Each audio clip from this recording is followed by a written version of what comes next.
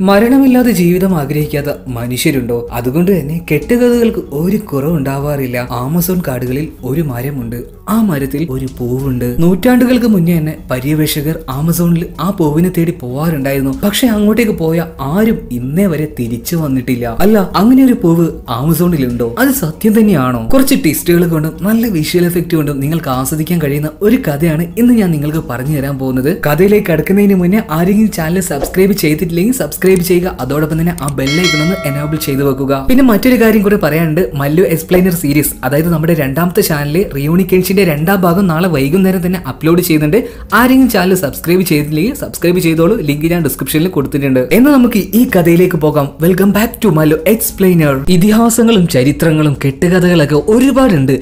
പക്ഷെ അതിലൊക്കെ ചിലത് സത്യമാകാറുണ്ട്. അതുപോലത്തെ ഒരു കഥയാണ്.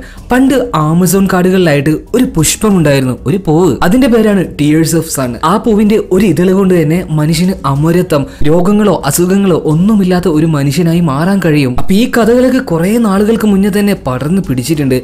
അപ്പോൾ ആയിരത്തി അഞ്ഞൂറ്റി അമ്പത് വർഷങ്ങളിൽ സ്പെയിനിലെ കുറച്ച് ആളുകൾ ആ ഒരു പൂവിനെ തേടിയിട്ട് ടിയേഴ്സ് ഓഫ് മൂണിനെ തേടിയിട്ട് ആമസോണിന്റെ ആ കാടുകളിലേക്ക് വരികയാണ്. അവരിൽ പ്രധാനിയായിരുന്നു അഗ്യൂറോ. ഒരുപാട് പേര് ഇങ്ങോട്ടേക്ക് വന്നിട്ട് പര്യവേഷണം നടത്തിയിരുന്നെങ്കിലും അഗ്യൂറോയുടെ ആ ഒരു പര്യവേഷണമായിരുന്നു ഏറ്റവും അധികം പ്രചാരം നേടിയിരുന്നത്. പക്ഷേ ആമസോൺ കാടുകളിലൂടെയുള്ള അവരുടെ യാത്ര വളരെയധികം അപകടം നിറഞ്ഞതായിരുന്നു അഗ്യൂർ അടക്കം എല്ലാവരും മരിച്ചു പോവുകയാണ്. അതായിരുന്നു ചരിത്രത്തിൽ രേഖപ്പെടുത്തിയത്. പക്ഷെ കെട്ടുകഥകൾ അങ്ങനെയായിരുന്നില്ല. ബോധം നഷ്ടപ്പെട്ടു പോയ അഗ്യൂറയും കുറച്ച് ആളുകളെയും അവിടെ ഉണ്ടായിരുന്ന ട്രൈബൽസ് രക്ഷപ്പെടുത്തുകയാണ് ഉണ്ടായിരുന്നത്. അവരവരുടെ ജീവൻ തിരിച്ചു കൊടുത്തു. ആരോഗ്യം സുഖപ്പെട്ടതിന് ശേഷം അഗ്യൂറോ അവിടെ ഉണ്ടായിരുന്ന ട്രൈബൽസിന്റെ തലവന്റെ കഴുത്തിലായിട്ട് ഒരു ലോക്കറ്റ് കാണുന്നത്. അതിന് പറയുന്ന പേരാണ് ആരോ ഹെഡ്. ഈ ആരോ ഹെഡ് ഉണ്ടെങ്കിൽ ടിയേഴ്സ് ഓഫ് സൺ ആ ഒരു പൂവിന്റെ അടുത്തേക്ക് എത്താൻ ഇവർക്ക് എളുപ്പത്തിൽ കഴിയും. കാരണം അതിലാണ് അങ്ങോട്ടേക്കുള്ള വഴി രേഖപ്പെടുത്തിയിട്ടുള്ളത്. ആരോഹയുടെ അഗ്യുറ ചോദിച്ച സമയത്ത് തലവൻ അത് വിട്ടുകൊടുക്കാൻ തയ്യാറായില്ല. അതുകൊണ്ട് തന്നെ തലവനെയും അവിടെ ഉണ്ടായിരുന്ന എല്ലാവരെയും അഗ്യുറയും അവന്റെ ആളുകളും കൊന്നു കളയുകയാണ്.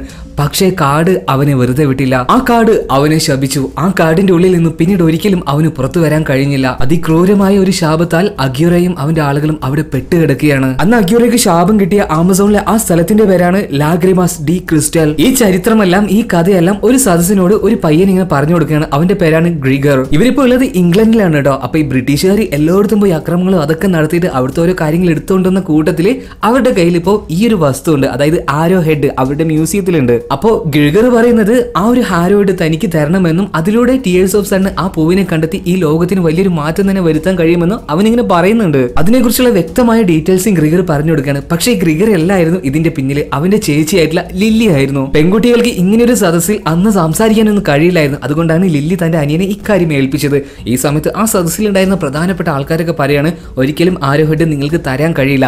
അവരുടെ തീരുമാനം മനസ്സിലാക്കിയ സമയത്ത് തന്നെ ലില്ലി പതിയെ ആ ഒരു സദസ്സിൽ നിന്ന് എണീച്ച് നടക്കുകയാണ്. നേരെ പോകുന്നത് മ്യൂസിയത്തിലേക്കാണ്. ചെറിയ സെക്യൂരിറ്റി ഒക്കെ ഉണ്ടെങ്കിലും അതിനെ മറികടന്ന് അവൾ അതിന്റെ ഉള്ളിലേക്ക് കടക്കുകയാണ്. അവിടെ വെച്ച് ആ ആരോ ഹെഡ് മോഷ്ടിക്കാൻ വേണ്ടി തന്നെ അവൾ ശ്രമിക്കുകയാണ്. വളരെയധികം തന്ത്രപൂർവം തന്നെ മ്യൂസിയത്തിലേക്ക് കടന്ന ലില്ലി ആരോ ഹെഡ് മോഷ്ടിക്കുകയാണ് ആ ഒരു പെട്ടിയിൽ നിന്നും. ഈ സമയത്താണ് ചില ശബ്ദങ്ങൾ ലില്ലി കേൾക്കുന്നത് തിരിഞ്ഞു നോക്കുമ്പോൾ എന്താ രണ്ട് ആൾക്കാർ ഇങ്ങോട്ടേക്ക് വരുന്നുണ്ട്. ഒന്ന് ഈ മ്യൂസിയത്തിലെ ഒരു ഓഫീസർ തന്നെയാണ് മറ്റേ ആൾ ആരാണെന്ന് അവൾക്ക് അറിയില്ലായിരുന്നു. അവളിങ്ങനെ വിളിച്ചിരിക്കുകയാണ്. അപ്പൊ ഈ ഓഫീസർ ഈ ഒരു സ്ട്രേഞ്ചറെ കൂട്ടി ഇങ്ങോട്ടേക്ക് വന്നത് എന്തിനാണെന്ന് വെച്ചിട്ടുണ്ടെങ്കിൽ കാശ് കൊടുത്ത് അതായത് കൈക്കൂലി മേടിച്ച് ആരോ ഹെഡ് അയാൾക്ക് വിൽക്കാനായിരുന്നു. പക്ഷെ ആ പെട്ടി തുറന്നു നോക്കുമ്പോൾ അതിൽ ആരോ ഹെഡ് കാണാനില്ല. അപ്പൊ തന്നെ അതിലൂടെ രക്ഷപ്പെട്ടു പോകുന്ന നമ്മുടെ ലില്ലിയെ ഇയാൾ കാണുകയാണ്. അയാളുടെ പേരാണ് യോവാഹിൻ. അവളെ പിടിക്കാൻ ശ്രമിച്ചെങ്കിൽ തന്ത്രപൂർവം തന്നെ അവൾ രക്ഷപ്പെടുകയാണ്. ഒരു സ്ഥലത്ത് വെച്ച് യോവാഹിൻ അവളെ പിടിക്കുകയാണ്. ആ പെട്ടി തിരിച്ചു തരാൻ വേണ്ടി യോവാഹിൻ ലില്ലിയെടുത്ത് പറഞ്ഞു ലില്ലി ഇപ്പൊ അവളുടെ കയ്യിലുണ്ടായിരുന്ന ആ പെട്ടി തിരിച്ചു കൊടുക്കുകയാണ്. ആ ഒരു ഗ്യാപ്പിൽ ലില്ലി അവിടുന്ന് രക്ഷപ്പെടുകയും ചെയ്യും. ഇപ്പൊ യോവാഹിൻ ആ പെട്ടി തുറന്നു നോക്കുമ്പോൾ കാണുന്നത് അതിൽ ചെറിയ പക്ഷിയുടെ ഒരു പാവക്കുട്ടിയായിരുന്നു. താൻ പറ്റിക്കപ്പെട്ടു എന്ന് യോവാഹിന് മനസ്സിലായി. അവൻ അപ്പോൾ തന്നെ അവിടെ ഉണ്ടായിരുന്ന കുറച്ച് ആളുകളെ വെട്ടി കൊല്ലുകയാണ് കാരണം ഈ കാര്യമൊന്നും ആറ്റാരും അറിയരുത്. എന്നിട്ട് ഇപ്പൊ യോവാഹിന് ഈ സാധനം എടുത്തു കൊടുക്കുക എന്ന് പറഞ്ഞാൽ ആ ഓഫീസറുടെ അടുത്തേക്ക് പോവാണ്. ആരാണ് ആ പെൺകുട്ടി എന്ന് ചോദിക്കാണ്. അവളുടെ ഡീറ്റെയിൽസ് എല്ലാം പിന്നീട് ഈ യോവാഹിൻ മനസ്സിലാക്കുകയാണ്. പിന്നീട് കാണിക്കുന്നത് ലില്ലിയുടെ വീട്ടിലാണ്. അവിടെ ഇപ്പൊ അവളുണ്ട് അവളുടെ അനിയൻ ഗ്രിഗറും ഉണ്ട്. അപ്പൊ അവർ രണ്ടുപേരും തീരുമാനം എടുത്തിട്ടുണ്ട്. ഇനി നേരെ ഈ ആരോ ഹെഡുമായിട്ട് ആമസോൺ കാർഡുകളിലേക്ക് പര്യവേഷണത്തിന് പോവുക ടിയേഴ്സ് ഓഫ് സൺ ആ പൂവ് കണ്ടെത്തുക. അങ്ങനെ ഇപ്പൊ അവർ നേരെ ആമസോൺ കാർഡുകളിലേക്ക് പോവാണ്. അങ്ങനെ ഡയറക്റ്റ് ഒന്നും പോകാൻ കഴിയില്ലല്ലോ. അതിനായിട്ട് തന്നെ ഒരു ദ്വീപിലേക്കാണ് അവർ പുറപ്പെടാൻ പോകുന്നത്. ഇതേ സമയത്ത് തന്നെ അവർ പോകാൻ പോകുന്ന ആ ഒരു ദ്വീപിലായിട്ട് ഒരാളുണ്ട്. അവന്റെ പേരാണ് ഫ്രാങ്ക്. നമ്മുടെ കഥയുടെ നായകൻ റോക്ക്. ഫ്രാങ്കിന്റെ ജോലി എന്താ വെച്ചിട്ടുണ്ടെങ്കിൽ ഈ ഒരു ദ്വീപിലേക്ക് വരുന്ന എല്ലാവരും ആമസോൺ കാടുകളിലെ എല്ലാ സ്ഥലങ്ങളും ചുറ്റി കാണിച്ചു കൊടുക്കുക ആ ഒരു നദിയിലൂടെ. അത്യാവശ്യം തട്ടിപ്പും കാര്യങ്ങളൊക്കെ ഉള്ള ഒരാൾ തന്നെയാണ് ഈ ഫ്രാങ്ക്. അപ്പൊ ടൂറിസ്റ്റുകളെ എൻഗേജ് ചെയ്യിപ്പിക്കാൻ വേണ്ടി പല കാര്യങ്ങളും ഇവൻ ചെയ്യാറുണ്ട്. അതിലൊന്നാണ് ഈ ട്രൈബൽസിന് വേഷം കിട്ടിയിട്ട് ആ കാടിന്റെ പല ഭാഗത്തും നിർത്തും. എന്നിട്ട് അവർ അറ്റാക്ക് ചെയ്യാൻ വരുന്ന നരഭോജികളാണെന്നൊക്കെ പറഞ്ഞിട്ട് ഈ സഞ്ചാരികളെ പേടിപ്പിക്കും. അപ്പൊ അവർ വേഗം പോകാൻ പറയുമ്പോൾ അതിന് മാത്രം വേഗതയൊന്നും ഈ ബോട്ടിന് ഇല്ല എന്ന് പറയും. അപ്പൊ കുറച്ചും കൂടെ കാശ് ചോദിക്കും. എന്നിട്ട് വേഗത്തിൽ അങ്ങ് പോകും. അങ്ങനെ അന്നത്തെ ട്രിപ്പ് ഒക്കെ കഴിഞ്ഞ് ഫ്രാങ്ക് ദ്വീപിലേക്ക് തിരിച്ചു വരികയാണ്. അപ്പൊ അവിടെ നൈലൻ എന്ന് പറഞ്ഞ ഒരാളുണ്ട്. അയാളുടെ കയ്യിൽ നിന്ന് ഫ്രാങ്ക് കുറച്ച് പൈസ കടം മേടിച്ചിട്ടുണ്ട്. അതുകൊണ്ട് തന്നെ തിരിച്ചു കടക്കാൻ പറ്റാത്തത് കൊണ്ട് അവന്റെ എഞ്ചിനും അതിന്റെ താക്കോൽ എടുത്തുകൊണ്ടാണ് ഇപ്പൊ ആ ഒരു പലിശക്കാരൻ. അയാളുടെ പ്രധാനപ്പെട്ട ഉദ്ദേശം അയാൾക്ക് ഇവിടെ കുറച്ച് ബോട്ടുകളുണ്ട്. അത് മാത്രം ഇവിടെ റണ്ണ് ചെയ്താൽ മതി. അതായിരുന്നു. അങ്ങനെ കുറച്ച് സമയം കഴിഞ്ഞു. ആ ദ്വീപിലേക്ക് ഇപ്പൊ നമ്മുടെ നായികയായിട്ടുള്ള ലില്ലിയും അവളുടെ അനിയനായിട്ടുള്ള ഗ്രിഗറും വന്ന് എത്തിയിട്ടുണ്ട്. അവർ പിന്നീട് അന്വേഷിക്കുകയാണ് നല്ല എക്സ്പീരിയൻസ് ആയിട്ടുള്ള ഒരു ഡ്രൈവറെയും നല്ലൊരു ബോട്ടിനെയും. പിന്നീട് അവർ അറിഞ്ഞു ഇവിടെയുള്ള പ്രധാനപ്പെട്ട ബോട്ട് സർവീസ് നൈലന്റെ ആണെന്ന് പിന്നീട് നേരെ നൈലന്റെ ഓഫീസിലേക്ക് പോവുകയാണ് ലില്ലി ഇതേ സമയത്ത് തന്നെ നൈലന്റെ ഓഫീസിലേക്ക് കക്കാൻ വേണ്ടി വരികയാണ് ഫ്രാങ്ക്. അവന്റെ ചാവി മോഷ്ടിക്കാനായിട്ട്. അങ്ങനെ സ്വന്തം ബോട്ടിന്റെ ചാവി മോഷ്ടിക്കാനായിട്ട് ഫ്രാങ്ക് ഇപ്പോ നൈലന്റെ ഓഫീസിലേക്ക് കയറുകയാണ്. ജനലിലൂടെയാണ് കയറിയത്. ഇതേ സമയം തന്നെ ആ ഒരു ഓഫീസിന്റെ പുറത്തായിട്ട് ലില്ലിയും വന്ന് നിൽക്കുന്നുണ്ട്. വാതിൽ തുറന്ന് ഉള്ളിലേക്ക് കയറി ലില്ലി കാണുന്നത് അവിടെ ഫ്രാങ്കിനാണ്. നിങ്ങളാണോ നൈലൻ എന്ന് ചോദിക്കുന്ന സമയത്ത് ഫ്രാങ്ക് ആ അതെ ഞാൻ തന്നെയെന്ന് പറയണം. പിന്നീട് നൈലനാണെന്ന് കഴുതിയിട്ട് ലില്ലി അവളുടെ കാര്യങ്ങളൊക്കെ പറയുകയാണ്. ആമസോണിലെ ഈ ഒരു പ്രദേശത്തേക്ക് പോകണം. മാപ്പുകളൊക്കെ ഇപ്പൊ കാണിച്ചു കൊടുക്കുകയാണ് ഫ്രാങ്കിന് ഇപ്പൊ ലില്ലി. മാപ്പ് കണ്ടപ്പോൾ തന്നെ ഏകദേശം ഫ്രാങ്കിന് കാര്യം മനസ്സിലായിട്ടുണ്ട്. ഇവരെന്തോ വലിയ പര്യവേഷണത്തിനാണ്. ടിയേഴ്സ് ഓഫ് മൂൺ തേടി തന്നെ പോവുകയാണ്. താൻ സഹായിക്കാമെന്ന് ഇപ്പോൾ ഫ്രാങ്ക് പറയാണ്. പിന്നീട് നൈലിന്റെ ടേബിളിൽ നിന്ന് ചാവിയുമായിട്ട് നേരെ ഫ്രാങ്ക് അവിടെ ഉണ്ടായിരുന്ന ഒരു റെസ്റ്റോറന്റിലേക്ക് പോവാണ്. കൂടെ ഇപ്പോൾ ലില്ലി ഉണ്ട്. ഇപ്പൊ അവർ ഡീൽ ഉറപ്പിക്കുകയാണ്. എത്ര രൂപക്കാണ് അങ്ങോട്ടേക്ക് പോകുന്നത്? ഫ്രാങ്ക് വില അതുപോലെ തന്നെ കുറച്ച് കുറയ്ക്കാൻ വേണ്ടിയിട്ട് ലില്ലി ഇപ്പൊ പറയുന്നുണ്ട്. പത്തിരുപത്തയ്യായിരം രൂപയാണ് ഫ്രാങ്ക് പറഞ്ഞത്. ലില്ലി ഒരു ഇരുപതിനായിരം രൂപയിൽ പിടിച്ചിട്ടുണ്ട്. ഈ സമയത്താണ് ലില്ലിയുടെ അനിയൻ ഗ്രിഗർ അങ്ങോട്ടേക്ക് വരുന്നത്. അവൻ പറയുകയാണ് നൈലനെ ഞാൻ കണ്ടുപിടിച്ചിട്ടുണ്ട്. അമ്പതിനായിരം രൂപയ്ക്ക് ട്രിപ്പ് ഫിക്സ് ചെയ്തിട്ടുണ്ട്. ഈ സമയത്താണ് ലില്ലിക്ക് കാര്യം മനസ്സിലായത് പറ്റിക്കപ്പെട്ടു. ഇപ്പൊ ഫ്രാങ്കിന്റെ അടുത്ത് നീയാണോ നൈലൻ എന്ന് ചോദിക്കുന്ന സമയത്ത് സോറി സോറി അത് ഞാനല്ല എന്ന് പറയുകയാണ്. അപ്പോൾ ആൾ പറ്റിക്കൽ കേസാണെന്ന് മനസ്സിലായത് കൊണ്ട് തന്നെ ഇപ്പൊ ലില്ലി അവിടുന്ന് പോവുകയാണ് ഇതേ സമയത്താണ് ലില്ലിയുടെ കഴുത്തിൽ ഉണ്ടായിരുന്ന ആ ഒരു മാലയുടെ ലോക്കറ്റ് ഇപ്പൊ ഫ്രാങ്ക് ശ്രദ്ധിക്കുന്നത്. അത് മറ്റൊന്നുമായിരുന്നില്ല ആ ആരോ ഹെഡ് തന്നെയായിരുന്നു. ഇപ്പൊ നൈലന്റെ കൂടെ അവിടെ നിന്ന് പോകാൻ ശ്രമിക്കുന്ന ലില്ലിയും ഗ്രിഗറിനെ അവൻ തടഞ്ഞു നിർത്തിയിട്ട് വളരെയധികം ചീപ്പായ ഒരു പ്രൈസിൽ തന്നെ അങ്ങോട്ടേക്ക് കൊണ്ടുപോകാന്ന് പറയാണ്. പക്ഷെ നൈലന് അതിന് സമ്മതിക്കുന്നില്ല. മാത്രമല്ല നിന്നെ പോലുള്ള ഒരു ഉഡായിപ്പ് കേസിന് കൂടെ വരാൻ പറ്റില്ലെന്ന് ലില്ലി പറയുകയാണ്. പക്ഷെ താനാണ് ഇവിടെയുള്ള ഏറ്റവും നല്ല ബോട്ട് ഡ്രൈവർ. അങ്ങനെയൊക്കെ ഓരോ കാര്യങ്ങൾ ഈ ലില്ലിയോട് ഫ്രാങ്ക് പറയുന്നുണ്ടെങ്കിലും അവളത് വിശ്വസിക്കാൻ തയ്യാറില്ല. പെട്ടെന്നാണ് അവിടെ ഉണ്ടായിരുന്ന ആ ഒരു ഹോട്ടലിലേക്ക് റെസ്റ്റോറന്റിലേക്ക് ഒരു കടുവ ചാടി വരുന്നത്. കടുവയെ കണ്ട സമയത്ത് തന്നെ നൈലൻ അവിടുന്ന് പേടിച്ച് ഓടുകയാണ്. ഇപ്പൊ ലില്ലിയും ഗ്രിഗറും ബാക്കിയുള്ള ആൾക്കാരൊക്കെ പേടിച്ച് അവിടെ നിൽക്കുന്ന സമയത്ത് ലില്ലിയെ അറ്റാക്ക് ചെയ്യാൻ വന്ന ആ കടുവ ഇപ്പൊ വളരെയധികം നിസ്സാരമായിട്ട് തന്നെ ഫ്രാങ്ക് കീഴ്പ്പെടുത്തുകയാണ്. എന്നിട്ട് ഒരു ഇറച്ചി കഷ്ണം എടുത്തിട്ട് നേരെ ജനലിന്റെ പുറത്തേക്ക് അറിയുമ്പോൾ അതിന്റെ പിന്നാലെയായിട്ട് ആ കടുവ അങ്ങ് ചാടിപ്പോയി. ഇത് കണ്ട സമയത്ത് തന്നെ ഇവൻ ആൾ കൊള്ളാമല്ലോ എന്ന് കരുതിയിട്ട് ലില്ലി ഇപ്പൊ ഫ്രാങ്കിനെ സെലക്ട് ചെയ്യുകയാണ്. അങ്ങനെ അവർ ആ ഒരു പര്യവേഷണത്തിന് യാത്രയ്ക്ക് തയ്യാറെടുക്കുകയാണ്. പിന്നീട് ഫ്രാങ്കിന്റെ ബോട്ടിലേക്ക് ലില്ലിയും ഗ്രീഗറും കൂടെ വസ്തുക്കളൊക്കെ കയറ്റിക്കൊണ്ടിരിക്കുകയാണ്. ഈ സമയത്താണ് ലില്ലിയെ ചില ആളുകൾ വന്നിട്ട് അവിടെ നിന്ന് തട്ടിക്കൊണ്ടുപോകുന്നത്. അത് മറ്റാരുമല്ല യുവാഹിന്റെ ആളുകൾ തന്നെയായിരുന്നു. ബേഡ്സിനെ എല്ലാം പിടിച്ചുകൊണ്ടുവന്ന ഒരു ഇരുമ്പ് കൂട്ടിലിട്ടാണ് ലില്ലി അവർ കടത്തി കൊണ്ടുവന്നത് ഇപ്പൊ ബോട്ടിൽ ഫ്രാങ്കും ഗ്രിഗറും ഒരുപാട് നേരമായിട്ട് ലില്ലിയെ വെയിറ്റ് ചെയ്തുകൊണ്ടിരിക്കുകയാണ്. അപ്പൊ കാണാത്തത് കൊണ്ട് തന്നെ അവളെ തിരഞ്ഞുകൊണ്ട് ഫ്രാങ്ക് പോവുകയാണ്. ഇതേ സമയത്ത് യുവാഹിമിന്റെ ആളുകളുടെ കയ്യിൽ നിന്ന് തന്ത്രപൂർവം തന്നെ ഇപ്പൊ ലില്ലി രക്ഷപ്പെടുകയാണ്. അങ്ങോട്ടേക്ക് വന്ന ഫ്രാങ്ക് ഇപ്പൊ അവരെല്ലാം അടിച്ച് വീഴ്ത്തിക്കൊണ്ട് തന്നെ ലില്ലിയുമായിട്ട് അവിടുന്ന് രക്ഷപ്പെട്ടു പോവുകയാണ്. പക്ഷെ ബോട്ടാണെങ്കിൽ കുറച്ച് വെള്ളത്തിന്റെ മുന്നിലേക്ക് എത്തിയിരുന്നു. അപ്പൊ നീന്തി വാ അങ്ങോട്ടേക്ക് പോവാന്ന് പറഞ്ഞ സമയത്ത് ലില്ലി അതിന് പറ്റില്ല എന്ന് പറയാണ് കാരണം അവൾക്ക് നീന്താൻ അറിയില്ല. ഇപ്പോ ഫ്രാങ്ക് നീന്തി പോകുന്നുണ്ട്. ലില്ലി ഇതേ സമയം തന്നെ അവിടെ ഉണ്ടായിരുന്ന ഒരു കയറിലൂടെ തൂങ്ങിയിട്ട് നേരെ ആ ഒരു ബോട്ടിലേക്ക് വന്ന് ചാടുകയാണ്. പിന്നീട് അവർ പതിയെ പതിയെ ആ ദ്വീപിൽ നിന്നും വിട്ടു പോവുകയാണ് ആമസോൺ കാടുകളുടെ ഉള്ളിലേക്ക്. അപ്പോൾ ഈ കാര്യങ്ങളൊക്കെ ഈ യോവാഹിന്റെ ആളുകൾ അവനെ പോയി അറിയിക്കുകയാണ്. പെട്ടെന്ന് തന്നെ കലി പൂണ്ട യോവാഹിൻ അവന്റെ ബോട്ടിന്റെ മുകളിലേക്ക് വരികയാണ്. അവനിപ്പോൾ ഉള്ളത് എവിടെയാണെന്നോ? മറ്റെവിടെയല്ല ആ ദ്വീപിലെ വെള്ളത്തിന് അടിയിൽ ഒരു മുങ്ങിക്കപ്പൽ ഉണ്ടായിരുന്നു. അതിന്റെ ഉള്ളിൽ തന്നെയാണ് ഈ യവാഹിമിൻ ഉണ്ടായിരുന്നത്. അവനിപ്പോൾ ആ ഒരു മുങ്ങിക്കപ്പലിന് മുകളിലേക്ക് പൊന്തിച്ചു കൊണ്ടുവരികയാണ്. ഗണ്ണുകളൊക്കെ തയ്യാറാക്കിയിട്ട് ഫ്രാങ്കിന്റെ ബോട്ട് ഇങ്ങനെ മുന്നോട്ട് പോകുന്നുണ്ടല്ലോ. അതിന് നേരെ ഷൂട്ട് ചെയ്തുകൊണ്ടേ ചെയ്തുകൊണ്ടേയിരിക്കുകയാണ്. ഫ്രാങ്കിന്റെ ബോട്ടാണെങ്കിൽ ഒരു വിധത്തിൽ ഡാമേജ് ആയിട്ടുണ്ട്. അവനിപ്പോൾ എങ്ങനെയൊക്കെയോ തിരിച്ച് തിരിച്ച് അതിനെ മുന്നോട്ട് കൊണ്ടുപോകുന്നുണ്ട്. പിന്നീട് ഫ്രാങ്ക് അവിടെ ഉണ്ടായിരുന്ന നൈലിന്റെ ഒരുപാട് ബോട്ട് നിർത്തിയതിന്റെ മറുഭാഗത്തേക്കായിട്ട് ഫ്രാങ്കിന്റെ ബോട്ട് കൊണ്ടുപോയിക്കാണ്. കാരണം സ്റ്റീം എഞ്ചിനൊക്കെ എന്തോ കംപ്ലൈന്റ് ആയിട്ടുണ്ട്. പിന്നീട് പെട്ടെന്ന് തന്നെ നൈലോന്റെ ബോട്ടുകൾ നിർത്തിയിരുന്ന ആ സ്ഥലത്തേക്ക് ഇറങ്ങിയിട്ട് ഒരു വിളക്കും കുറച്ച് എണ്ണയുമായിട്ട് തിരിച്ചു വരികയാണ്. എന്തോ ഒന്ന് ഫ്രാങ്ക് മനസ്സിൽ കണ്ടിട്ടുണ്ട്. ഇതേ സമയം ഈ ഫ്രാങ്കിനെ കണ്ട നൈലോന് ദേഷ്യം വന്നിട്ട് അത്രയ്ക്ക് ധൈര്യം എന്റെ സ്ഥലത്തേക്ക് കയറാന്ന് പറഞ്ഞിട്ട് ചീത്ത പറയുന്നത് ഇതേ സമയത്ത് തന്നെ മുങ്ങിക്കപ്പലിൽ ഈ യുവാഹിൻ ബോംബ് തയ്യാറാക്കി വെച്ചിട്ടുണ്ട്. അതിപ്പോ നേരെ ഫ്രാങ്കിന്റെ ആ ഒരു എയിം ചെയ്ത് വെച്ചിട്ടുണ്ട്. ഇതേ സമയത്ത് തന്നെ ഫ്രാങ്ക് അവിടെ നിന്ന് കിട്ടിയ എണ്ണയും അതുപോലെ തന്നെ തീയും ഉപയോഗിച്ചിട്ട് സ്റ്റീം എഞ്ചിന്റെ ഉള്ളിലേക്ക് ഇടുകയാണ്. പിന്നീട് അതിൽ എങ്ങനെയൊക്കെയോ തീ വരുത്തി മിഷനെ പിന്നെയും റീസ്റ്റാർട്ട് ചെയ്തെടുത്തു. ഇതേ സമയം മുങ്ങിക്കപ്പലിൽ നിന്നും യോവാഹിൻ ഒരു ചെറിയ ബോംബ് ഈ ഫ്രാങ്കിന്റെ ബോട്ടിലേക്ക് തൊടുത്തു വിട്ടിട്ടുണ്ടായിരുന്നു. കാര്യം മനസ്സിലാക്കിയ ഫ്രാങ്ക് പെട്ടെന്ന് തന്നെ അവിടെ ഉണ്ടായിരുന്ന ചെറിയൊരു ഫ്ലോട്ടിംഗ് ഹൗസിലേക്ക് ഇവരുടെ ബോട്ട് കയറ്റുകയാണ്. ഇതേ സമയം വെള്ളത്തിലൂടെ വന്ന ആ ഒരു ബോംബ് ഈ ഫ്ലോട്ടിംഗ് ഹൗസിലേക്ക് തട്ടി പൊട്ടിത്തെറിക്കുകയാണ്. ഭാഗ്യം കൊണ്ട് ചെറുതായിട്ടൊന്ന് രക്ഷപ്പെട്ടിട്ടുണ്ട്. ഇതേ സമയം തന്നെ അങ്ങോട്ടേക്ക് വന്നുകൊണ്ടിരുന്ന ഈ യോഹിന്റെ മുങ്ങിക്കപ്പലുണ്ടല്ലോ അവിടെ അടിയിലുണ്ടായിരുന്ന ഈ ഇരുമ്പ് കമ്പികളിലൊക്കെ കുടുങ്ങിയിട്ട് ആകെ സ്റ്റെക്കായി പോവുകയാണ്. അതിപ്പോ നേരെ നൈലോന്റെ കുറെ ബോട്ടുകളൊക്കെ നിർത്തിയിട്ടില്ലേ അതിന്റെ ഉള്ളിലേക്ക് അങ്ങ് പോയി. നൈലോന്റെ ബോട്ടുകളുടെ കാര്യത്തിൽ ഏകദേശം തീരുമാനമായിട്ടുണ്ട്. ഒരു വിധത്തിലെല്ലാം തകർന്നു പോയി എന്ന് തന്നെ പറയാം. ഇതേ സമയം ഫ്രാങ്കും ലില്ലിയും ഗ്രിഗറും കൂടി ആമസോൺ കാർഡുകളുടെ ഉള്ളിലേക്ക് ഇങ്ങനെ പോയിക്കൊണ്ടേയിരിക്കുകയാണ്. ഫ്രാങ്ക് ആണെങ്കിൽ ബോട്ടിന് വന്ന് ചെറിയ ചെറിയ കേടുപാടുകളൊക്കെ തീർത്തുകൊണ്ടിരിക്കുകയാണ് ലില്ലി ആണെങ്കിൽ മാപ്പിലേക്ക് നോക്കിയിട്ട് അവർക്ക് പോകേണ്ട കറക്റ്റ് ആയിട്ടുള്ള റൂട്ട് അടയാളപ്പെടുത്തിക്കൊണ്ട് നിൽക്കുന്നുണ്ട് അപ്പോൾ ഒരു സ്ഥലത്ത് വെച്ചിട്ട് ഈ ഫ്രാങ്കിനോട് ലില്ലി പറയുന്നുണ്ട് അല്ല നമ്മൾ ഈ പോകുന്നത് ഈ റൂട്ട് തെറ്റാണല്ലോ. ഈ സമയത്ത് ഫ്രാങ്ക് വരികയാണ് ഞാൻ നിങ്ങളെ കറക്റ്റ് ആയിട്ടുള്ള ആ ഒരു സ്ഥലത്തേക്ക് എത്തിച്ചാൽ പോരെ. അതൊന്നും വേണ്ട. മാപ്പിൽ ഉള്ളതുപോലെ പോകണം എന്നിപ്പോൾ ലില്ലി വാശി പിടിക്കുകയാണ്. അപ്പൊ നേരെ മാപ്പിലുള്ളതുപോലെ തന്നെ അവർ യാത്ര തുടരുകയാണ്. ഇതേ സമയം തന്നെ യോഹിൻ അവന്റെ ബോട്ട് ഏകദേശം തകർന്നിരുന്നല്ലോ. ആ മുങ്ങിക്കാപ്പിൽ അതിന്റെ പണിയൊക്കെ ഏകദേശം തീർത്തിട്ട് ഇനിയിപ്പോ അടുത്ത പദ്ധതി എന്താണെന്ന് ആലോചിക്കുകയാണ്. അതായത് ഈ ഫ്രാങ്കിന്റെ പിന്നാലെ പോകാൻ ഇനി അവർക്ക് കഴിയില്ല. എങ്ങോട്ടേക്കാണ് പോയതെന്ന് അവർക്ക് അറിയില്ലല്ലോ. ഇനി ഒരേ ഒരു വഴിയുള്ളൂ. കെട്ടുകഥകൾ അനുസരിച്ച് അഗ്യുറ എന്നൊരാൾക്ക് ശാപം കിട്ടിയില്ല. ആ സ്ഥലത്തേക്ക് പോയിട്ട് അവന്റെ അടുത്ത് തന്നെ കാര്യങ്ങൾ ചോദിക്കുക.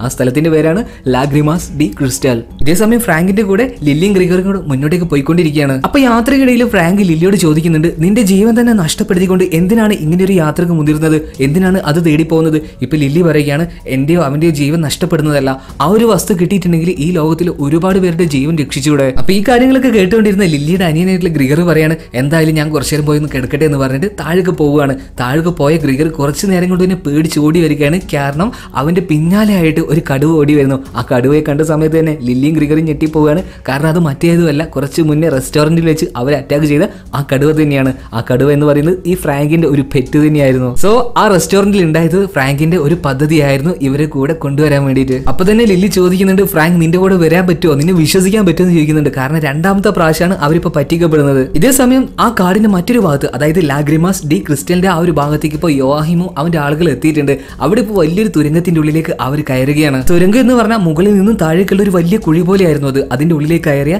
ഈ യോഹിൻ അവിടെ ഇപ്പൊ മരങ്ങൾക്കിടയിൽ കുടുങ്ങി കിടക്കുന്ന കുറച്ച് മനുഷ്യരൂപമുള്ള പ്രതിമകളെ കാണുന്നുണ്ട്. ആ പ്രതിമകളുടെ മുകളിലേക്കായിട്ട് ഇപ്പൊ യോവാഹിൻ ആ ആമസോൺ കാടുകളിലെ കുറച്ച് വെള്ളം തെളിച്ചു കൊടുക്കുകയാണ്. കുറച്ച് നേരത്തേക്ക് ഒരു അനക്കം ഉണ്ടായില്ല. ഇപ്പൊ ആ പ്രതിമകളുടെ ചില ഭാഗങ്ങൾ തകർത്തുകൊണ്ട് ഒരു പാമ്പ് പെട്ടെന്ന് അങ്ങ് പുറത്തേക്ക് വരികയാണ്. അവരുടെ കൂട്ടത്തിൽ ഒരാളെ കൊല്ലുകയും ചെയ്തു. അതായത് അഗ്യുറയും അവന്റെ ആളുകൾക്കും ശാപം കിട്ടിയല്ലോ. അതിലൂടെ തന്നെ അവരുടെ ആത്മാവ് നശിച്ചില്ല. പക്ഷെ ശരീരം നഷ്ടമായിട്ടുണ്ട്. അവരുടെ ശരീരത്തിന്റെ സ്ഥാനത്ത് ഇപ്പൊ കുറെ ജീവികളും പഴുതാരകളും പാറ്റകളൊക്കെയാണ്. ചെറിയ ചെറിയ പാമ്പുകളുടെ രൂപത്തിൽ യുവാഹിന്റെ മുന്നിലേക്ക് വന്ന അഗ്യുറ ഉണ്ടല്ലോ. അഗ്യുറയുടെ കാര്യങ്ങൾ പറഞ്ഞു കൊടുക്കുകയാണ്. ഒരു കൂട്ടര് ടീയേഴ്സ് ഓഫ് മൂൺ എന്ന ആ പുഷ്പം തേടി പോയിട്ടുണ്ട്. അപ്പൊ നിങ്ങൾ അവരെ പിന്തുടരുക. പറ്റുമെങ്കിൽ എനിക്ക് നിങ്ങൾ സഹായം ചെയ്യുക. വിവരങ്ങൾ അറിയിച്ചു തരിക.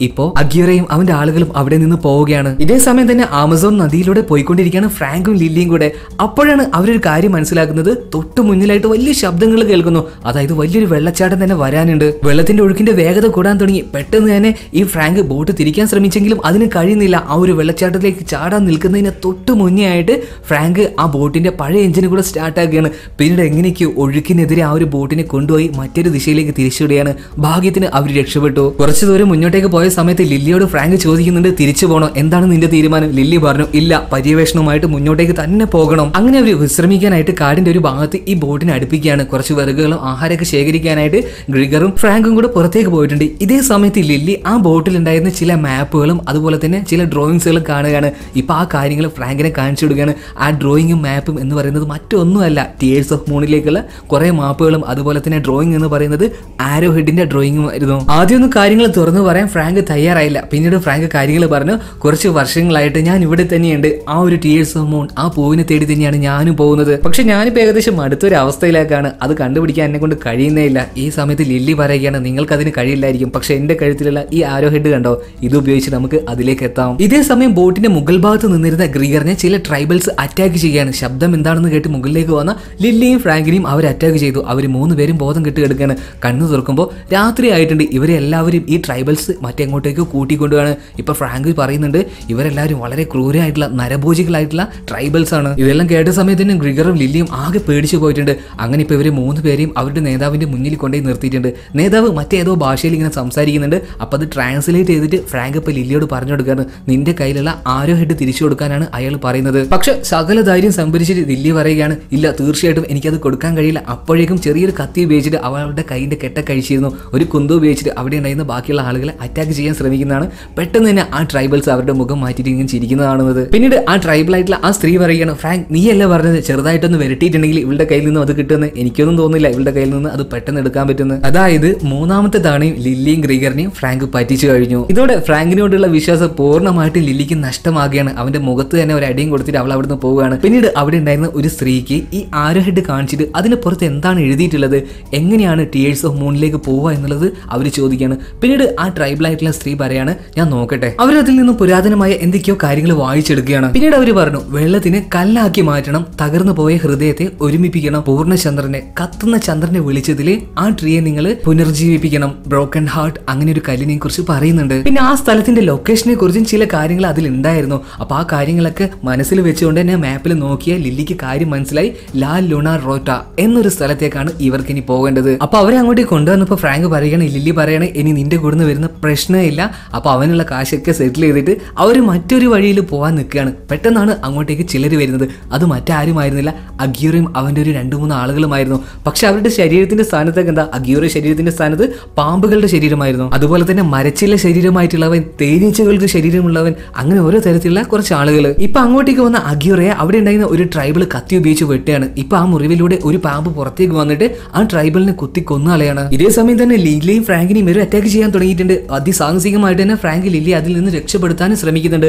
പക്ഷെ ഒരു സ്ഥലത്ത് വെച്ച് ലില്ലിയുടെ കയ്യിൽ നിന്നും തേനീച്ചകൾ ശരീരമാക്കിയിട്ടുള്ള ഒരാൾ വന്നിട്ട് ആ ഒരു ആരോ ഹെഡ് എടുത്തോണ്ട് പോവാണ്. പിന്നീട് അഗ്യൂറിന്റെ കയ്യിലേക്ക് അവരത് കൊണ്ടേ കൊടുത്തു. ഇതേ സമയത്ത് തന്നെ അഗ്യൂറിന്റെ അടുത്തേക്ക് ഫ്രാങ്ക് വന്നിട്ടുണ്ട്. അവന്റെ അടുത്ത് പോരാടിക്കൊണ്ടിരിക്കുകയാണ്. ഭയക്കാതെ തന്നെ. പക്ഷെ പോരാട്ടത്തിന്റെ അവസാനം ഈ അഗ്യൂറ് ഒരു വാൾ ഉപയോഗിച്ചിട്ട് കൂർത്ത കത്തി ഉപയോഗിച്ചിട്ട് ഈ ഫ്രാങ്കിന്റെ ഹൃദയത്തിലേക്ക് തന്നെ കുത്തി അങ്ങ് കയറ്റുകയാണ്. ആ വേദനയിലും അവനിപ്പോ അഗ്യൂറിന്റെ കയ്യിലുണ്ടായിരുന്ന ആ ഒരു ആരോ ഹെഡ് പിടിച്ചെടുക്കുകയാണ്. അവനിപ്പോ താഴേക്ക് വീണുകൊണ്ടിരിക്കുകയാണ്. പെട്ടെന്ന് തന്നെ ആ ഒരു കല്ല് ലിലിയുടെ കൈകളിലേക്ക് എറിഞ്ഞു കൊടുക്കുകയാണ്. താഴേക്ക് വീണ ഈ ഫ്രാങ്ക് കല്ലിൽ ചെന്ന് അടിക്കുകയാണ്. ആ വെള്ളത്തിലേക്ക് വീണു. അവ മരിച്ചു എന്ന് തന്നെ ഇവർക്ക് ഉറപ്പായി. ഫ്രാങ്കിന്റെ ഈ ഒരു ത്യാഗം കണ്ട സമയത്ത് ലില്ലി ആകെ സ്റ്റെക്കായി പോവുകയാണ്. പെട്ടെന്ന് തന്നെ അവിടെ ഉണ്ടായിരുന്ന ഒരു ട്രൈബൽ സ്ത്രീ ഇപ്പൊ ലില്ലിയും ഗ്രിഗറിനെയും കൂട്ടിയിട്ട് അവിടെ നിന്ന് ഒരു തോണി ഉപയോഗിച്ച് രക്ഷപ്പെടുകയാണ്. പക്ഷെ ഇവരെ പിന്തുടർന്നുകൊണ്ട് തന്നെ പിന്നാലെ തന്നെ അഗ്യൂറും അവന്റെ ആളുകളുണ്ട്. ഇപ്പൊ ആ ട്രൈബൽ ആയിട്ടുള്ള സ്ത്രീ ഇപ്പോ ലില്ലിയോട് പറയുകയാണ് നീ പെട്ടെന്ന് തന്നെ ഈ നദിയുടെ സൈഡിലൂടെ ഓടാതെ ഇതിൽ നിന്നും പരമാവധി അകന്നുകൊണ്ട് ഓടുക. ലില്ലി ഇപ്പൊ അതുപോലെ തന്നെ ചെയ്യുകയാണ്. ആ നദിയിൽ നിന്നും പരമാവധി അകന്നു ഓടുകയാണ്. കാരണം ആ നദിയിൽ നിന്നും ഒരു നിശ്ചിത അകലത്തിലേക്ക് ഈ അഗ്യൂർക്കും അവന്റെ ആളുകൾക്ക് വരാൻ കഴിയില്ല.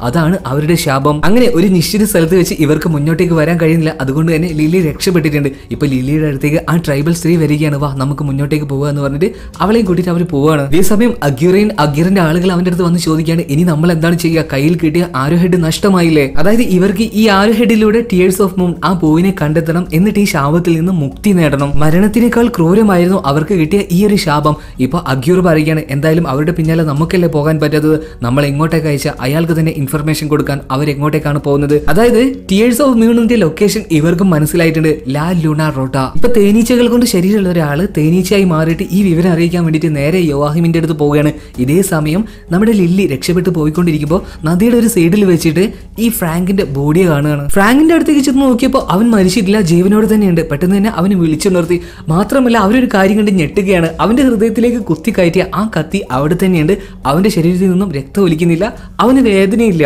എന്താണ് ഇതിന്റെ പിന്നിലെ രഹസ്യം എന്ന് ഇപ്പൊ ലില്ലി ചോദിക്കുന്ന സമയത്ത് പറയുകയാണ് അതിന്റെ പിന്നിൽ ഒരു വലിയ കഥ തന്നെയുണ്ട്. അതിപ്പോ എന്തായാലും നിങ്ങൾക്ക് പറയാനില്ല. എന്തായാലും നാനൂറോളം വർഷമായിട്ട് ഞാൻ ഇവിടെ തന്നെ ജീവിച്ചിരിപ്പുണ്ട്. കാര്യങ്ങളൊക്കെ കേട്ടിട്ട് ഇവരാകെ ഞെട്ടിപ്പോവുകയാണ്. ഇതേ സമയം തേനീശകളുടെ രൂപത്തിലുള്ള അഗ്യൂരുടെ ആളുകൾ നേരെ പോകുന്നത് യോഹിന്റെ അടുത്തേക്കാണ്. എന്നിട്ട് മാപ്പിൽ ഇവർ പോകുന്ന ലാൽ ലുണ റോട്ട. ആ സ്ഥലത്തിന്റെ ലൊക്കേഷൻ കറക്റ്റ് ഈ തേനീച്ചകൾ കാണിച്ചു കൊടുക്കുകയാണ്. ഇതേ സമയത്ത് ലാൽ ലുണയിലേക്ക് പോയിക്കൊണ്ടിരിക്കുകയാണ് ലില്ലിയും ഫ്രാങ്കും. പക്ഷെ അവരുടെ കൂടെ ഇപ്പൊ ഗ്രിഗറും ആ ഒരു ട്രൈബൽ സ്ത്രീ ഇല്ല കേട്ടോ. ലില്ലിയും ഫ്രാങ്കും യാത്ര ചെയ്തുകൊടുക്കുമ്പോൾ ആ ഒരു ബോട്ടിൽ വെച്ച് തന്നെ ലില്ലി ഫ്രാങ്കിന്റെ നെഞ്ചിലുള്ള ആ ഒരു മുറിവ് ഇങ്ങനെ കെട്ടിക്കൊടുക്കുകയാണ്. ഫ്രാങ്ക് ഇപ്പൊ ആ പഴയ കഥ പറഞ്ഞു കൊടുക്കുകയാണ്. താൻ ആരാണെന്നും തന്റെ ചരിത്രം എന്താണെന്നും. അതായത് ഈ അഗ്യൂർ എന്ന് പറയുന്നത് അത് ഫ്രാങ്കിന്റെ സുഹൃത്ത് തന്നെയാണ്. അഗ്യൂറോ സ്പെയിനിലെ രാജാവിന്റെ മകനാണ് രാജകുമാരനാണ്. എന്റെ അച്ഛൻ സ്പെയിനിലെ രാജാവിന്റെ സേവകനായിരുന്നു. അതുകൊണ്ട് തന്നെ എന്നെ അദ്ദേഹത്തിന്റെ മകന്റെ സേവകനായി തിരഞ്ഞെടുത്തു. വിശ്വസ്തനായ ഒരു സേവകനായിട്ട്. പിന്നീട് കുറച്ച് വർഷങ്ങൾ കഴിഞ്ഞു അഗ്യൂർ വിവാഹം കഴിഞ്ഞു. അവനൊരു മകളുണ്ടായി. പക്ഷെ എന്തോ വലിയൊരു മാറാ രോഗം അവന്റെ മകൾക്ക് വന്നു. തന്റെ മകളുടെ ദുഃഖം കണ്ട് സഹിക്കാനാവാതെ ഇപ്പൊ അഗ്യൂർ ആ ഒരു പൂവിനെ തേടി പോവുകയാണ്.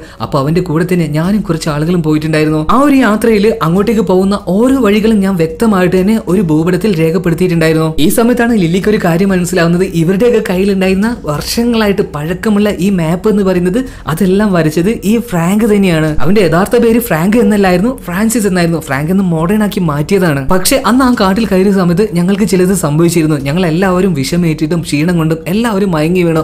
പക്ഷെ ഞങ്ങൾ അവിടെ നിന്ന് സാക്ഷ്യപ്പെടുത്തിയത് അവിടെയുള്ള ട്രൈബൽസ് ആയിരുന്നു. അവർ ഞങ്ങൾക്ക് ടിയേഴ്സ് ഓഫ് മൂൺ ആ പൂവിന്റെ ആ ഒരു അനുഗ്രഹത്തെ തന്നു. അതിലൂടെ ഞങ്ങൾക്ക് അനന്തമായ ജീവിതം ലഭിച്ചിട്ടുണ്ടായിരുന്നു. അങ്ങനെ സുഖം പ്രാപിച്ച ഞങ്ങൾ അഗ്യൂറോ ഇപ്പോ ആ ഒരു ട്രൈബൽസിന്റെ തലവനോട് ആരോ ഹെഡ് തരാൻ പറയുകയാണ്. പക്ഷെ അയാൾ അത് തന്നില്ല. അതുകൊണ്ട് തന്നെ അഗ്യൂറയും അവന്റെ ആളുകളും അവിടെയുള്ള എല്ലാവരെയും കൂട്ടക്കൊല ചെയ്തു. പിന്നീട് ഈ തലവന്റെ മകളെയും കൊല്ലാൻ ശ്രമിക്കുന്നു. ആ സമയത്ത് എനിക്കത് കണ്ടോണ്ട് നിൽക്കാൻ കഴിഞ്ഞില്ല. ആ ഭ്രാന്തിൽ എനിക്ക് ഇടപെടാൻ കഴിഞ്ഞില്ല. ഞാൻ അവനെ തടുത്തു. ആ പെൺകുട്ടി പിന്നീട് അവിടുന്ന് ഓടി രക്ഷപ്പെട്ട്. ഇതേ സമയത്ത് തന്നെ ആ ഒരു ട്രൈബലിന്റെ നേതാവ് വലിയൊരു ശാപം ഞങ്ങൾക്ക് എല്ലാവർക്കുമായിട്ട് തരുന്നുണ്ടായിരുന്നു. ഇവിടെയുള്ള ഈ നദി വിട്ട് കുറച്ച് ദൂരമല്ലാതെ ഞങ്ങൾക്ക് ഒരിക്കലും പോകാൻ കഴിയില്ല. അതുകൊണ്ടാണ് നാനൂറ് വർഷമായിട്ട് ഈ ഒരു കാടിന്റെ ഈ ഒരു നദിയുടെ ഭാഗത്ത് തന്നെ ചുറ്റിപ്പറ്റി ഞാൻ നടക്കുന്നത്.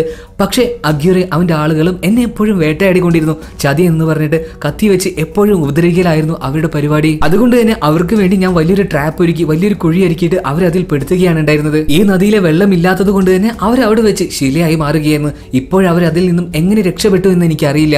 നമുക്ക് യാത്ര തുടരാം എന്ന് പറഞ്ഞിട്ട് അവർ നേരെ ലാൽ ലുണയിലേക്ക് പോവാണ്. ഇതേ സമയം ആ നദിയിലൂടെ മറ്റൊരു ഭാഗത്തേക്ക് പോയിക്കൊണ്ടിരുന്ന ലില്ലിയുടെ അനിയനായിട്ടുള്ള ഗ്രിഗറിനെ ഇപ്പോൾ യവാഹിൻ പിടിക്കുകയാണ്. അവരുടെ കൂട്ടത്തിൽ കൂട്ടുകയാണ്. എന്നിട്ട് അവർ എങ്ങോട്ടേക്കാണ് പോയത്? കറക്റ്റ് ലൊക്കേഷൻ ഈ യവാഹിൻ ഗ്രിഗറിലൂടെ ഭീഷണിപ്പെടുത്തിയിട്ടാണ് കേട്ടോ. ഇതേ സമയം ഈ ലില്ലിയും ഫ്രാങ്കും കൂടെ ആ ഒരു സ്ഥലത്തേക്ക് എത്തിയിട്ടുണ്ട്. ലാ ലുണ റോട്ട എന്ന് പറയുന്നത്. അതായത് വലിയൊരു വെള്ളച്ചാട്ടത്തിന്റെ നടുവിലായിട്ട് എന്താ പറയുക ഒരു കിണർ പോലെയുള്ള ഒരു സ്ഥലമായിരുന്നു അത്. അപ്പോൾ ഇനി ആദ്യം തന്നെ ഇവർ ചെയ്യേണ്ടത് വെള്ളത്തിനെ കല്ലാക്കി മാറ്റുക. ആ ഒരു ദൗത്യത്തിനെയാണ്. പക്ഷെ അതെന്താണെന്ന് ഇവർക്ക് അറിയില്ലായിരുന്നു ഇപ്പൊ അവിടെ ഉണ്ടായിരുന്ന ആ ഒരു വെള്ളത്തിലേക്ക് ഫ്രാങ്ക് എടുത്തു ചാടുകയാണ്. അതിന്റെ അടിയിലേക്ക് പോയി നോക്കിയപ്പോൾ ഒരു കാര്യം മനസ്സിലായിട്ടുണ്ട്. അതിന്റെ അടിയിലായിട്ട് ഒരു ലിവർ കാണാനുണ്ട്. അത് പിടിച്ച് താഴ്ത്തിയിട്ടുണ്ടെങ്കിൽ എന്തെങ്കിലുമൊക്കെ സംഭവിക്കും. പക്ഷെ ഫ്രാങ്കിന് അത് ഒറ്റയ്ക്ക് ചെയ്യാൻ കഴിയില്ലായിരുന്നു. അതുകൊണ്ട് തന്നെ ലില്ലിയെ വിളിക്കാണ് പക്ഷേ ലില്ലിക്ക് അതിന്റെ അടിയിലേക്ക് വരാൻ പേടിയായിരുന്നു. വെള്ളത്തിന് ഭയമായിരുന്നു. ഇപ്പൊ ധൈര്യം കൊടുക്കുകയാണ് ഫ്രാങ്ക്. അങ്ങനെ ഇപ്പോൾ രണ്ടുപേരും കൂടിയിട്ട് അതിന്റെ ഉള്ളിലേക്ക് പോവുകയാണ്. എന്നിട്ട് ആ ഒരു ലിവർ അവർ പതിയെ വിളിച്ച് താഴ്ത്തുകയാണ്. പക്ഷേ ഓവറായിട്ട് വെള്ളം കുടിച്ചത് കൊണ്ടും ശ്വാസം ഇല്ലാത്തത് കൊണ്ട് തന്നെ ലിവർ താഴ്ത്തിയ അതേ സമയത്ത് തന്നെ അവൾ ബോധം കിട്ടി വീഴുകയാണ്. മാത്രമല്ല ആ ലിവർ താഴ്ത്തിയതിലൂടെ അവിടെ ഉണ്ടായിരുന്ന ജലനിരപ്പ് ഉണ്ടല്ലോ അത് പതിയെ പതിയെ താവാനും തുടങ്ങിയിട്ടുണ്ട്. അങ്ങനെ പൂർണമായിട്ടും അവിടുത്തെ ജലം മറ്റേ അങ്ങോട്ട് ഒഴുകി പോയിട്ടുണ്ട്. അവരിപ്പോ നോക്കുമ്പോൾ അവിടെ ചെറിയൊരു കൊട്ടാരം പോലെ ചെറിയൊരു ടെമ്പിൾ കാണുന്നുണ്ട്. ഇപ്പൊ നേരെ ഫ്രാങ്ക് ചെന്നിട്ട് ലില്ലിയെ രക്ഷപ്പെടുത്തുകയാണ്. മാത്രമല്ല ഇവരൊരു കാര്യം കൂടെ അവർ കാണുകയാണ്. അതായത് ആ നദിയിലെ വെള്ളം ഏകദേശം ഒലിച്ചു പോയിട്ടുണ്ടല്ലോ. ആഴൊക്കെ കുറഞ്ഞിട്ടുണ്ടല്ലോ. അതുകൊണ്ട് തന്നെ അങ്ങോട്ടേക്ക് മുങ്ങിക്കപ്പൽ വന്നിട്ടില്ല യോഹിന്റെ ആ ഒരു മുങ്ങിക്കപ്പലും പൊന്തിക്കെടുക്കുകയാണ് അതിന്റെ ഉള്ളിൽ നിന്നും അവൻ പുറത്തേക്ക് വന്നിട്ടുണ്ട്. തോക്ക് ചൂണ്ടി അവരെല്ലാവരും ഭീഷണിപ്പെടുത്തിക്കൊണ്ട് തന്നെ അവിടെ നിന്നും അടുത്ത ലക്ഷ്യത്തിലേക്ക് നേരെ പോവാണ് അവർ. ആ സമയത്ത് യോഹിൻ പറയുന്നുണ്ട് ആ പുകിട്ടിട്ട് വേണം എനിക്ക് തിരിച്ചു പോവാൻ. യോവാഹിൻ എന്ന് പറയുന്നത് ജർമ്മനിയിൽ വലിയ എംപയറിന്റെ ഒരു രാജാവിന്റെ മകൻ തന്നെയായിരുന്നു. അതുകൊണ്ട് തന്നെ ജർമ്മനിയെ ലോകം മുഴുവൻ വ്യാപിക്കാൻ വേണ്ടി അവർക്ക് വലിയൊരു സാമ്രാജ്യമാക്കി മാറ്റാൻ വേണ്ടിയിട്ടാണ് ഈ യോവാഹിൻ ഈ ഒരു ദൗത്യമായിട്ട് മുന്നോട്ടേക്ക് വന്നത് അങ്ങനെ അവർ ലക്ഷ്യസ്ഥാനത്തേക്ക് എത്തുകയാണ്. ചെറിയൊരു തുരങ്കത്തിലൂടെയാണ് കേട്ടോ അവർ പോയത്. എന്തോ ബോൾ പോലെയുള്ള എന്തോ ഒരു വസ്തു. പുരാതനമായ ശിലകളിൽ എന്തൊക്കെയോ ഒന്ന് എഴുതി വെച്ചിട്ടുണ്ട്. അപ്പൊ ഇനി രണ്ട് കടമ്പോടെ ഇവർക്ക് കടക്കാനുണ്ട്. ബ്രോക്കൺ ഹാർട്ട് എന്നൊരു സൂചനയും അതുപോലെ തന്നെ അവിടെ ഉണ്ടായിരുന്ന ആ പൂവിന്റെ മരത്തെ ഉണർത്തണം. അതും പൂർണചന്ദ്രൻ ഉദിച്ചു നിൽക്കുന്ന അതേ സമയത്ത് തന്നെ ആകാശത്തേക്ക് നോക്കിയപ്പോൾ ചന്ദ്രൻ ഉദിച്ചു നിൽക്കുന്നുണ്ട് നിലാവിന്റെ വെളിച്ചമുണ്ട്. അപ്പൊ ഇവരുടെ കയ്യിലുള്ള ആ ആരോ ഹേർട്ട് വെക്കാനുള്ള ഒരു സ്ഥലം ഇപ്പോൾ ആ ഒരു ബോൾ പോലെയുള്ള സ്ഥലത്ത് കാണുന്നുണ്ട്. പക്ഷെ അത് എത്രത്തോളം അതിൽ വെച്ചിട്ടും ഒരു കാര്യം അവിടെ ഉണ്ടാകുന്നില്ല ഒന്നും സംഭവിക്കുന്നില്ല. അപ്പൊ ഇവരിങ്ങനെ ആലോചിക്കുകയാണ് ഇനിയിപ്പോ എന്താണ് ചെയ്യുക? ഈ സമയത്താണ് ലില്ലി ഒരു കാര്യം ചെയ്യുന്നത് അല്ലെങ്കിൽ ശ്രദ്ധിക്കുന്നത്? ഈ ആരോ ഹെഡ് പറയുന്നത് ഇവരുടെ കയ്യിലുള്ള ആ ഒരു ലോക്കറ്റ് ഉണ്ടല്ലോ അതൊരു ഹൃദയം പോലെയായിരുന്നു. അപ്പൊ ഒരു കാര്യം ഇവർക്ക് ഓർമ്മ വന്നു ബ്രോക്കൻ ഹാർട്ട് എന്നൊരു വാക്ക്. പെട്ടെന്ന് തന്നെ ഫ്രാങ്ക് ആ ഒരു സംഭവം ബ്രേക്ക് ചെയ്യാണ് പൊട്ടിക്കുകയാണ്. അപ്പൊ അവർക്ക് അതിന്റെ ഉള്ളിൽ നിന്നും തിളങ്ങുന്ന ഒരു റോസ് കല്ല് കിട്ടുകയാണ്. അതിലൂടെ തന്നെ അവർക്ക് ഒരു കാര്യം മനസ്സിലായി. ഈ വസ്തുവിലൂടെയാണ് ഈ മരത്തിനെ ഉണർത്താൻ കഴിയുക. പിന്നീട് ബ്രോക്കൺ ഹാർട്ട് ഒരുമിപ്പിച്ചു ആ കല്ല് എടുത്തു. കല്ല് കല്ലിന്റെ സ്ഥാനത്തും വെച്ചു ബ്രോക്കൺ ഹാർട്ടിനെ അതിന്റെ സ്ഥാനത്തും വെച്ചു. അങ്ങനെ ഇപ്പോ ആ കല്ലിൽ നിന്ന് വന്ന എനർജിയോട് കൂടി തന്നെ ആ മരം പൂർണമായിട്ടും ഉണർന്നു വരികയാണ്. റോസ് നിറത്തിലായിട്ട് ആ മരം ഇങ്ങനെ തുടുത്ത് നിൽക്കുകയാണ്. അതിൽ ഒരുപാട് പൂക്കൾ ഇങ്ങനെ വിരിഞ്ഞു നിൽക്കുന്നുണ്ട്. ഇപ്പോ ഫ്രാങ്കും ലില്ലിയും ചെറിയൊരു തന്ത്രം അവിടെ എടുക്കുകയാണ്. അതായത് തങ്ങൾക്കും വേണം പൂ എന്ന് പറയാണ്. ഈ സമയത്ത് യോഹിം പറയാണ് നിങ്ങൾ ആർക്കെങ്കിലും ഒരാൾക്കേ പൂ തരുള്ളൂ. വേണമെങ്കിൽ ഒരാൾ മറ്റൊരാളെ കൊന്നിട്ട് വേണമെങ്കിൽ അത് എടുത്തു എന്ന് പറയാണ്. പെട്ടെന്ന് തന്നെ ലില്ലി അവളുടെ കയ്യിലുണ്ടായിരുന്ന ഗണ്ണ് ഉപയോഗിച്ചിട്ട് ഫ്രാങ്കിനെ ഷൂട്ട് ചെയ്യാണ്. രണ്ട് വട്ടം വെടിവെച്ചു. അവനിപ്പോ അവിടെ നിന്ന് താഴേക്ക് വീഴാണ് അതായത് ഫ്രാങ്കിന് വെടിവെച്ചാലൊന്നും ഒന്നും ആവില്ല. ഇപ്പൊ യോഹിൻ ലില്ലിയെ നോക്കിയിട്ട് പറയാണ് നീ എന്നെക്കാളും വലിയ കേമത്തിയാണല്ലോ എന്ന് പറഞ്ഞിട്ട് ആ ഒരു മരത്തിൽ നിന്നും പൂ പറിക്കാൻ വേണ്ടിയിട്ട് അവരിങ്ങനെ പോവാണ്. ഇതേ സമയത്ത് വെള്ളത്തിലേക്ക് വീണ ഈ ഫ്രാങ്ക് ഉണ്ടല്ലോ അടിയിൽ നിന്നും ഈ യോഹിന്റെ ഒരു ആളുകളെയും കീഴ്പ്പെടുത്തിക്കൊണ്ട് മുകളിലേക്ക് വന്നുകൊണ്ടിരിക്കുന്നുണ്ടായിരുന്നു. അതായത് ഡയറക്റ്റ് ആയിട്ട് അവരെ അറ്റാക്ക് ചെയ്യാൻ കഴിയില്ല. കാരണം അവരുടെ കയ്യിൽ ഗണ്ണുകളുണ്ട്. യുവാഹിന് പിന്നീട് മനസ്സിലായി തങ്ങളുടെ പിന്നാലെ തന്നെ ഫ്രാങ്ക് വന്നുകൊണ്ടിരിക്കുകയാണ് പെട്ടെന്ന് തന്നെ അവർ ആ പൂ പറിക്കാൻ വേണ്ടി ശ്രമിക്കുന്ന സമയത്ത് യുവാഹിന്റെ ബാക്കിയുള്ള ആളുകളെ തട്ടിയിട്ടുകൊണ്ട് തന്നെ ആ മരത്തിന്റെ മുകളിലേക്ക് വളരെയധികം വേഗത്തിൽ ഇല്ലിൽ കയറിക്കൊണ്ടിരിക്കുകയാണ്. ഇതേ സമയത്ത് തന്നെ ആ ഒരു പൂർണചന്ദ്രന്റെ വെളിച്ചം പതിയെ പതിയെ മങ്ങി തുടങ്ങിയിരുന്നു. അതുകൊണ്ട് തന്നെ ആ മരം പതിയെ പതിയെ ഡെഡാവാനും മരണപ്പെടാനും തുടങ്ങി. ലില്ലി വളരെയധികം വേഗത്തിൽ തന്നെ ആ മരത്തിന്റെ ചില്ലുകളിൽ ഓടിക്കൊണ്ടിരിക്കുകയാണ്. അങ്ങനെ അവസാനം അതിന്റെ തുമ്പിൽ വെച്ച് ഏറ്റവും അവസാനത്തെ ആ പൂവിന്റെ ഒരു ഇതിൽ ലില്ലിക്ക് കിട്ടുകയാണ്. പക്ഷെ അപ്പോഴേക്കും ലില്ലി നിന്ന് ആ ഒരു കമ്പ് തകർന്ന് അത് താഴേക്ക് വീഴുകയാണ്. ചെറിയൊരു കമ്പിൽ പിടിച്ചു നോക്കുമ്പോൾ അവളുടെ അടുത്തേക്ക് ഇപ്പോൾ യോഹാമിൻ വരുന്നുണ്ട്. ആ പൂ അവന് കൊടുക്കാൻ വേണ്ടി ലില്ലിയോട് പറയുകയാണ്. കുറച്ച് നേരം ലില്ലി ഒന്ന് ആലോചിച്ചു. പിന്നീട് ലില്ലിക്ക് ഒരു കാര്യം മനസ്സിലായി. ഈ യോഹാമിൻ നിൽക്കുന്ന ആ ഒരു കമ്പും തകർന്നുകൊണ്ടിരിക്കുകയാണ്. മാത്രമല്ല തന്നെ രക്ഷിക്കാനായിട്ട് താഴെ ഇപ്പോൾ ഫ്രാങ്ക് തയ്യാറായി നിൽക്കുന്നുണ്ട്. അപ്പോൾ പെട്ടെന്ന് തന്നെ ലില്ലി ആ ഒരു കമ്പിൽ നിന്നും പിടിവിട്ട് താഴേക്ക് വീഴുകയാണ്. അവളുടെ കയ്യിൽ നിന്നും ആ ഒരു പൂവ് തെറിച്ചു പോയിട്ടുണ്ട്. ഇതേ സമയത്ത് തന്നെ യോഹാമിൻ അവൻ നിന്നിരുന്ന ആ ഒരു കമ്പ് തകർന്ന് അവിടെ ഉണ്ടായിരുന്ന വല്ലികളിൽ കാൽ കുടുങ്ങി തല കീഴായി നിൽക്കുകയാണ്. ഇതേ സമയത്ത് താഴേക്ക് വീണുകൊണ്ടിരിക്കുന്ന ആ ഒരു പൂവിനെ ഇപ്പോ ഫ്രാങ്ക് ക്യാച്ച് ചെയ്തിട്ടുണ്ട്. പിന്നീട് അവർ രക്ഷപ്പെട്ടുകൊണ്ട് തന്നെ മൂന്ന് പേര് മുന്നോട്ടേക്ക് പോവാണ്. ഇതേ സമയം അങ്ങോട്ടേക്ക് അഗ്യൂർ അവന്റെ ആൾക്കാരും എത്തിയിട്ടുണ്ട്. ഇപ്പൊ അവിടെ തൂങ്ങിക്കിടന്നിരുന്ന യോഹിൻ അവരെ രക്ഷിക്കാൻ വേണ്ടി കൽപ്പിക്കുകയാണ്. പക്ഷെ ഇത് അഗ്യൂരയ്ക്ക് ഇഷ്ടമായിട്ടില്ല. അവന്റെ പാമ്പുകളെ കൊണ്ട് ഈ യോഹിന്റെ മുഖമെല്ലാം കുത്തി നശിപ്പിക്കുകയാണ്. ഇതേ സമയം താഴെ നിന്നിരുന്ന ഫ്രാങ്ക് ഇപ്പൊ അഗ്യൂറെ കണ്ടിട്ടുണ്ട്. പെട്ടെന്ന് തന്നെ ഫ്രാങ്ക് ആ ഒരു പൂവ് ഒരു ചുവന്ന തുണിയിലായിട്ട് പൊതിഞ്ഞു വെക്കുകയാണ്. ഈ കാര്യം അഗ്യൂർ കണ്ടിരുന്നു. പിന്നീട് ഫ്രാങ്ക് ബോട്ട് മുന്നിലേക്ക് ഇങ്ങനെ ഓടിച്ചു പോവുകയാണ്. അതേ സമയത്ത് തന്നെ അതിൽ നിന്നും ലില്ലിയും ഗ്രിഗറിനെയും പുറത്തേക്ക് ഇറക്കി വിട്ടു. സേഫ് ആയിട്ട് തന്നെ നിങ്ങൾ തിരിച്ചു പോകണം എന്ന് അവരത് പറഞ്ഞിട്ടുണ്ടായിരുന്നു. അതായത് ഈ ഫ്രാങ്കിന് വ്യക്തമായ എന്തോ ഒരു പദ്ധതി ഉണ്ടായിരുന്നു. അങ്ങനെ ആ ഒരു ബോട്ടുമായിട്ട് ഫ്രാങ്ക് മുന്നോട്ടേക്ക് പോകുമ്പോഴേക്കും അതിലേക്ക് ഇപ്പോൾ അഗീറും അവന്റെ ആൾക്കാരും ചാടി വീണിട്ടുണ്ട്. എല്ലാവരും ഇപ്പോൾ ഫ്രാങ്കിനെ അറ്റാക്ക് ചെയ്തുകൊണ്ടിരിക്കുകയാണ്. ഫ്രാങ്കിന്റെ കഴുത്തിലേക്ക് അഗീറിന്റെ ആ പാമ്പുകൾ വന്ന് ചുറ്റിയിട്ടുണ്ട്.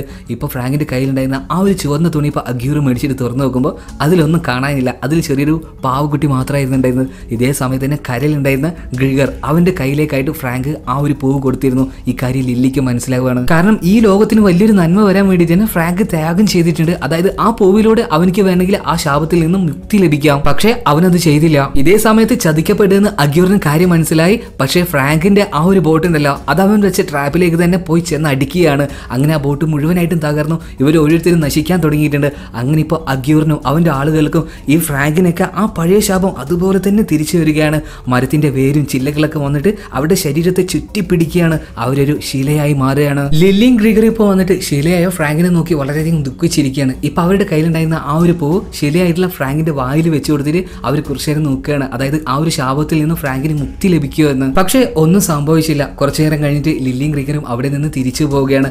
പിന്നീട് എന്തൊക്കെയോ ശബ്ദങ്ങൾ കേട്ട് അവർ തിരിച്ചു വന്ന് നോക്കുമ്പോൾ ഈ ഫ്രാങ്കിന്റെ ശിലയായി പോയിട്ടുള്ള ഓരോ ഭാഗങ്ങളും തകർന്നു വരുന്നുണ്ട്. പിന്നീട് കുറച്ച് നേരം കൊണ്ട് തന്നെ ഫ്രാങ്ക് ഒരു മനുഷ്യനായി മാറുകയാണ്. മാത്രമല്ല അവന്റെ ശരീരത്തിൽ നിന്നും രക്തം ഒലിക്കുന്നുണ്ടായിരുന്നു. അവന്റെ ശരീരം വേദനയാകുന്നുണ്ട് ഈ സമയത്ത് തന്നെ ലില്ലിക്കും ഫ്രാങ്കിനും കാര്യം മനസ്സിലായി. ആ ഒരു ശാപത്തിൽ നിന്നും ഇവർക്ക് മുക്തി ലഭിച്ചിട്ടുണ്ടെന്ന്. അങ്ങനെ ഫ്രാങ്ക് ഇപ്പൊ ഹാപ്പിയാണ് മാത്രമല്ല ഇവരുടെ ഒരു വെഴുത്തി അല്ലെങ്കിൽ ഈ ഒരു ആത്മാർത്ഥതയൊക്കെ കണ്ടുകൊണ്ടായിരിക്കണം ആ ഒരു മരം ഇവർക്ക് വേണ്ടിയിട്ടായിട്ട് ഒരു പൂ കൂടെ നൽകുകയാണ്. അങ്ങനെ അവസാനമായിട്ട് ഇവർക്ക് കിട്ടിയ ആ ഒരു പൂവുമായിട്ട് ലില്ലിയും ഗ്രിഗറി ഇപ്പോൾ ഫ്രാങ്കിനെയും വിട്ടിട്ട് നേരെ ലണ്ടനിലേക്ക് തന്നെ തിരിച്ചു പോവുകയാണ്. അപ്പൊ കൂട്ടുകാരെ നിങ്ങൾക്ക് വീഡിയോ ഇഷ്ടമായിട്ടുണ്ടെങ്കിൽ വീഡിയോ ലൈക്ക് ചെയ്യുക കമന്റ് ചെയ്യുക അതുപോലെ തന്നെ ഷെയർ ചെയ്ത് സപ്പോർട്ട് ചെയ്യുക. എന്നാൽ പിന്നെ എന്ന് പറയുന്നത് പോലെ തന്നെ കഥകൾ കേൾക്കാൻ നിങ്ങൾക്ക് ഇഷ്ടമാണോ? എങ്കിൽ ആ കഥ പറഞ്ഞു തരാൻ എനിക്കും ഇഷ്ടമാണ്. It's me